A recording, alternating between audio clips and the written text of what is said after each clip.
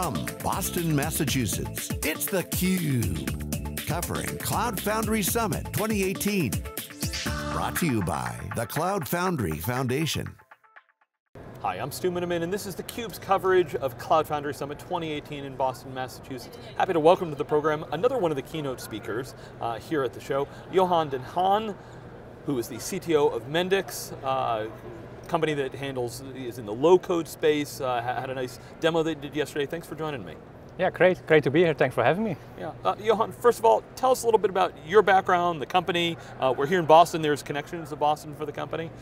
Uh, definitely, our headquarters is, uh, is here in Boston. Yeah. Um, so if you look at Mendix as a company, so we, we founded the company um, a while back um, for the sole reason of to solve the problem that application development in enterprise is still, still very hard and error prone. I mean, I don't know if you, uh, you, if you think about the statistics around enterprise software development, I think still most of the projects just fail because it's not fast enough, not aligned with the business, things like that. So what we do as a company is help other companies uh, yeah, thrive in a software-driven world to make sure that they can um, uh, build software from initial idea to a working application uh, with speed, so as quickly as possible, uh, in collaboration, because if you build something, you want to involve business people and IT people and let them collaborate on creating the right software solution, but also in control, because we're doing it for an enterprise, so you want to make sure you can control the entire process and do it uh, in a way that, uh, that helps enterprises. All right, so, so uh, Johan, I, I think back to, you know, times in my career when you talk about kind of a software rollout, it's like, oh, we're going to do this big initiative, let's bring in the consultants, we're going to spend 12 to 18 months, which turns into 24 months, and we're going to spend a ton of money, and we're going to bring this application that's you know, for the enterprise and going to do things great. Uh, now I talk to some companies and they're like, oh hey, I'm doing my ERP rollout. I thought it was going to take me six months, I did it in three months because I spun it up in the cloud. Um, that, that's kind of the infrastructure piece, but from the application side, you know, there's this trend, we, Mendix, I, I see low code in there. Maybe, I, I, think some people hear it, there's low code, some, there's a more controversial term, no code out there. What, what does this really mean? Because at the end of the day, you know, I still have my application, I have my data, you know, what am I building or am I just taking components? Um, you know, help, help, us understand this, this, this trend and how it fits for Mendix a little now, Maybe start with the infrastructure side as you, you started there. Yeah. Um, if you look at infrastructure, what we've done there is basically abstraction and automation. Uh, we, we moved up in the stack yeah. and then automated all the things underneath, uh, which is valuable, but it's only a small piece of the application lifecycle. And if you think about delivering an entire application, it's much more than that. And then in the development part of the lifecycle, you can do the same thing. You can also do abstraction and automation because if you think about um, applications, then a lot of the elements are the same across applications. If you think about an information system, yeah, you need to have data, UI, logic, of course, and the basics. And what you can do is abstract away to a, a higher level, visual, maybe a visual level, that's what Mendix does.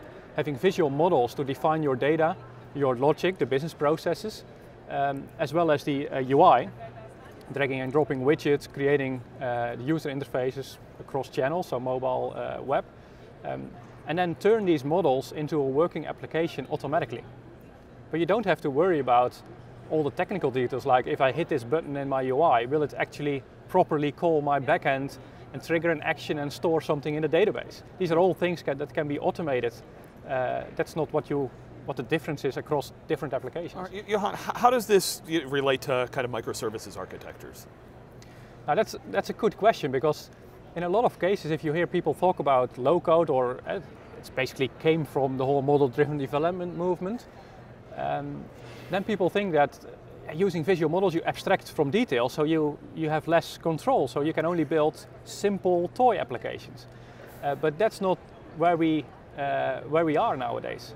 This is really a next generation of using models to drive software development, where you can have uh, complex applications with the underlying architecture uh, to your needs. So instead of targeting a simple uh, client-server application, we target uh, a microservices architecture. So you, you can quickly build these different microservices, easily reuse data across these services, but all in a visual way.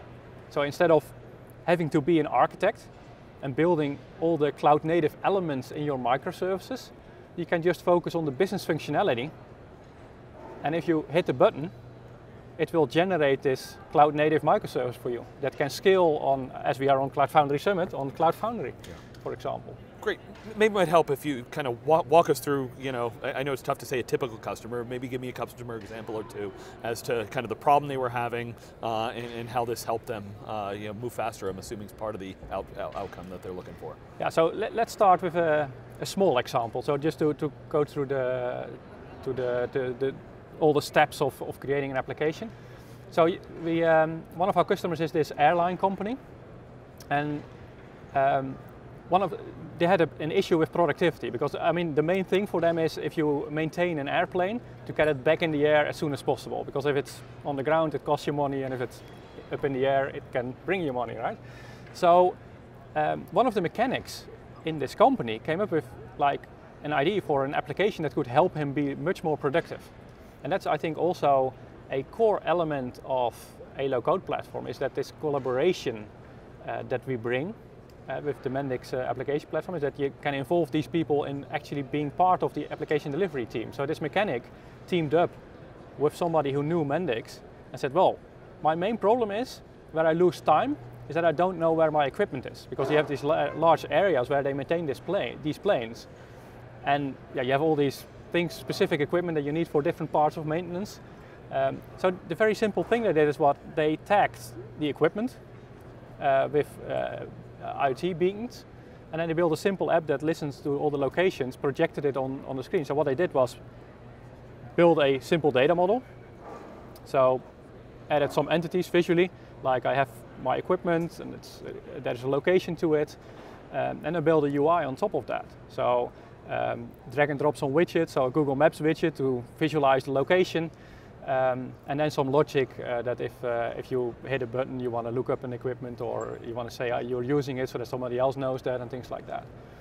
So ju in just six days, they have gone through this entire process, iterating quickly, and then they had the app. And it saved them, uh, I think on average, half an hour per day per mechanic. So if you have a couple of hundred of mechanics, yeah that's some real money on the table with just six days of development. But the key is that it's not somebody in the head office thought about how to solve the issue of maintainability, maintainability um, and the efficiency, but it was just somebody on the floor came up with a creative idea and had the tools to quickly experiment and get it into production. Great. So we're here at the Cloud Foundry Summit. Can you explain how Mendix fits with Cloud Foundry, and then you know what, what other solutions do you have out there? Because it, it's it's a big, you know, cloud native's a rather big environment these days. So yeah, so if you if you look back, Mendix joined the Cloud Foundry Foundation as one of the uh, early movers, um, and the reason for that is that um, when you start to look at this application lifecycle and make that uh, with speed, collaboration, and control do that fast, then you start with development, but that's also just one piece.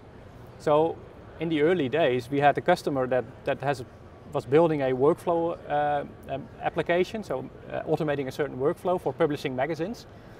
Um, and they were struggling in .NET for six months already. And it didn't have any tangible thing yet. So we came in, we were an early startup, so it's via relations, so they were like, oh, you can try it. Um, so six weeks later, we had this entire workflow automated. And then they said, well, you have to, we have to take this in production because this will save us money on a daily basis. And then, okay, go talk with IT. And they said, well, Mendix, we don't know what this is. And uh, by the way, how do we run this? And, and, and we need to order hardware. And that was the moment that we realized it's not just about development, it's about the delivery of the entire application. So we started to, um, it was called Cloud then, it was back in uh, 2007, I think, when we, uh, we had this. Um, so we started to host applications, so made, made that do the same thing there, so one-click deployment to solve that issue as well, because you have the same thing that you have, you need expertise uh, to, uh, to run applications, but instead of that we abstract away from the details and we just run it in the cloud. Um, and then in 2014, I think Cloud Foundry uh, came up and we realized oh, we should replace our homegrown uh, PaaS layer that we created with an open source uh, uh, foundation so that we are completely portable because we, we want to offer our uh, customers the freedom to deploy anywhere, whether it's on their private cloud running on one of the distributions of Cloud Foundry, on the IBM cloud, the SAP cloud. Um, but I think it's a really yeah, happy marriage between Mendix, which is completely complementary to Cloud Foundry, but both with the same philosophy about automating things, abstracting away from the details and making it much more productive um, to develop applications on the one hand, but also to deploy and operate them. Yeah, it, sounds like a good good fit for Cloud Foundry to handle certain things, you know, lower level in the stack, and while, while you're handling up level in, in, the stack.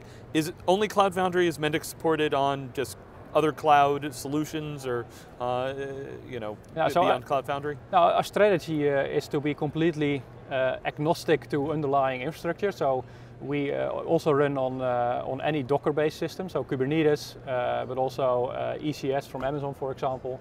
Um, so yeah, wherever we can run a Docker container, we can run Mendix and we can scale out because of our cloud native architecture. Yeah. Johan, who's the typical person that your, your company is working with? Is it is the developer side? And just curious the business because it's always well, developers oftentimes do things but don't have the budget for them. And you mentioned some of the developer operator uh, challenges. So I'm, I'm, curious the Mendix's dynamic uh, with, with, companies. Uh, that's that's uh, a great question because it's um, if you look at the developer landscape, it's kind of widening because you don't have just a professional developer that is able to build software, but with low code, you have yeah, more business oriented people that can uh, join these teams as well. So if you look at a typical uh, team that's building applications using the Mendix platform, um, I, would call them biz DevOps teams. Uh, you have DevOps joining operation development, but this is also joining the business into this same cross-functional team. So a typical team uh, uh, building software using Mendix is like uh, if you have five people in a team, you often have one professional developer, but four people with a business background. They are tech savvy. They are, have, maybe have a background in as a BI consultant or an SAP consultant or these kind of uh, roles, um, but they don't have a computer science background, but they are involved in building the software. And the great advantage, of course, is that they are domain experts in the area they are building the software for. So you can be really uh, enabling the business and, and bringing value to the business. Okay. Johan, last question, could you just, the, the company itself, how many employees, how many customers, uh, just, just give us kind of a thumbnail of the company. Yeah, so we have around a, a thousand enterprise customers. Um, company size currently is uh, uh, north of 350 people, growing fast. Uh, it's crazy in uh, getting, uh, hiring all the people that we need to, to scale up because the market is really hot. if you look at low code, it's becoming kind of the I think it's really the next generation of application development becoming um, a mainstream option that any enterprise needs to have to deliver the applications uh, they need. Um, and slightly tied to your previous question, it's also solving the talent gap. And we've seen all these um, uh, rallying cries around everybody needs to learn to, to code to solve the, the, the problem that we need more software than we can build. Um, I think, don't think that is the solution. We will never have so many people that, that uh, can develop software. We need, to, we need a paradigm shift. And that paradigm shift will enable us to build software faster, so 10 times faster than you're used to with traditional programming languages, but also with a much broader group of people, uh, more business-oriented people. So the group of people that can use a low-code platform is minimally 10 times bigger than the professional developer group. And that's what we need to solve this uh, problem in, in our in the software-driven world that we live in. Johan Den Haan, CTO of Mendix, thanks so much for joining me. I'm Stu Miniman. This is theCUBE, Cloud Foundry Summit 2018.